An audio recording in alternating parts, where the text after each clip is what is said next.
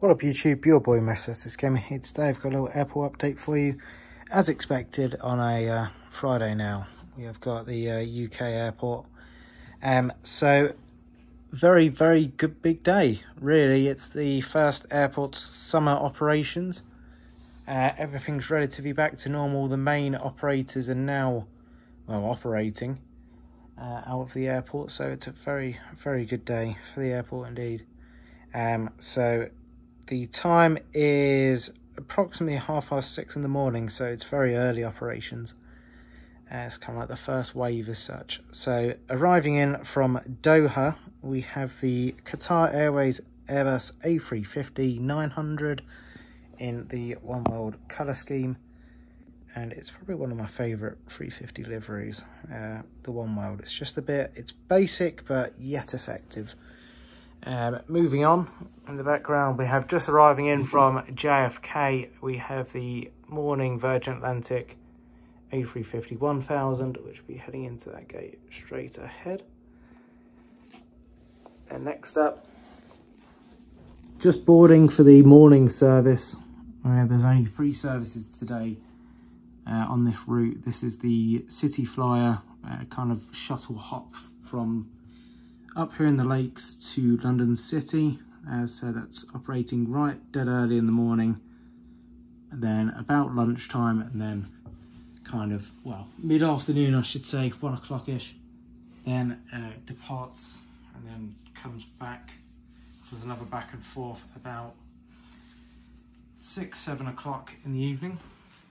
Then next up, we have the City Flyer E190, this will be operating the flight out to Ibiza. So Ibiza operates daily, then it's either met by a Rotterdam, sorry, uh, not daily, five times a week.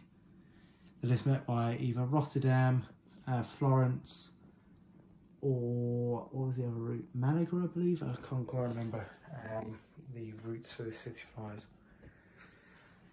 So, next up, Got the Airbus A321 Jet 2, so Jet 2 are the new operator uh, for the airport, and they've got two aircraft with a third in talks. They just kind of saw the schedule for the third. Uh, we have got the 321 based and also the 737-800.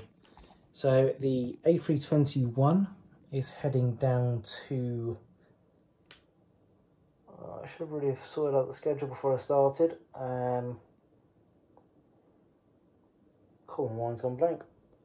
Uh, heading down to Mahon. And then the 737 next door is heading down to Girona. Then EasyJet, also full operations now. Well, not full, but uh, higher operations. So the Airbus A320 is the first aircraft to depart out the airport this morning. Uh, and this is going down, sorry, this one's heading to Belfast. Then the EasyJet A321neo is heading to Malaga. And in the background, we have the TUI 737-800, uh, and this is operating to Rhodes. And finally, two more aircraft. Very quick update. Apologies once again, still not full operation, so it's not particularly busy uh, at this moment in time. But loading up, uh, going off to Charles de Gaulle, we have the FedEx 757. So this aircraft isn't actually permanently based at the airport. It kind of does an overnighter, then returns uh, to its base. And then behind it, we've got the FedEx feeder ATR 42, and this is going down to Stansted. So I'd like to apologise once again for the quickness of the update. Uh, this time of the morning, there isn't really too many operations. Uh, the main talks of the airports in at the moment is to have, as I said earlier, to have Jet 2 another aircraft based, uh, which would be another 737.